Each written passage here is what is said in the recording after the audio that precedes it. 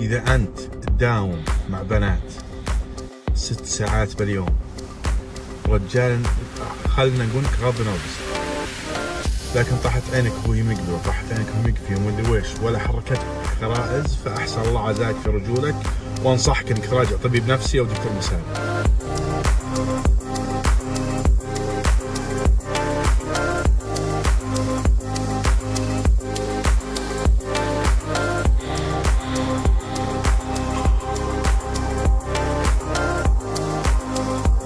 ست ساعات في ست أيام اختلاط اختلاط اختلاط ما اظنه أمر حتى في الإنتاجية اللي أنت تبحث عنها في شركك ومؤسستك.